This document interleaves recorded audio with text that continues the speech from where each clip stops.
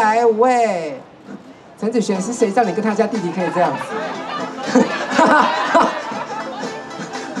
你要跟他弟弟，你可以放尊重一点嘛？你有考虑到人家姐姐的心情吗？每天欺负别人，还在那边欺负人家弟弟，好。好的，那你有考虑过那个云云的心情吗？你原来是出来欺负你家自己姐妹的，好，对对对，好好好，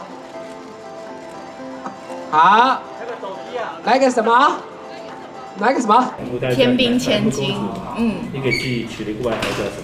剧组给我取个外外号叫做天天，就是天天，因为我常常闯祸，但是闯了祸之后马上就有报应，就感觉是一个很强的。小坏蛋，你想，因为我很容易就人家说我怎么样，我可能就会就伤心难过好几个月这样子，心灵脆弱。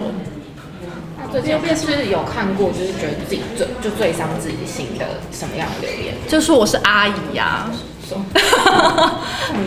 心碎，心碎。所以我就是为了这件事情，我就报复性的把自己吃胖，因为我发现就是我的脸凹就会显得比较。憔悴一点，然后你成熟，所以我就把自己吃胖之后，就就就比较就碰碰，吃一些什么东西最快？就吃一些鸡排啊、泡面啊、淀粉啊、蛋糕啊，对。然后我就因为我很追求那个数字嘛，一直都追求是四十三、四十四，但是我现在有四十九，哎，真假？真的我是四十九，我再上去的时候，怎么会这样？哦，算了算了算了。而且他好像手脚也不会胖。会啦，我不好意思在大家表面前表表演那个蝴蝶袖。你就在大家面前起飞。对，不太好意思，等下起飞画面出去了，大家就会看到了。记得他是一个好，他好像跟我说，他他不会去洗他的内衣裤，因为他就是穿了他就是买，穿了他就是买。哦，好棒。就是这是一个已经我觉得已经有点超过我的认知的。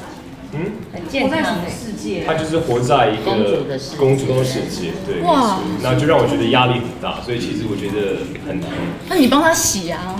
啊，很难就要帮啊？你是说我就从对象变成他的家佣？对，我们我们没有我们没有到到交往，只是说我们在认识彼此的阶段，就觉得说这个东西太……好，我以为交往嘞。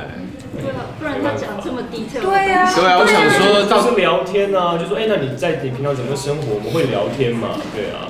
他以为大概交往了三年。是你在聊的，你是去相亲啊？你要怎么生活？相亲的是高天佑啊。我觉得价值观的差距太太大，还是平平淡淡的比较好。对对。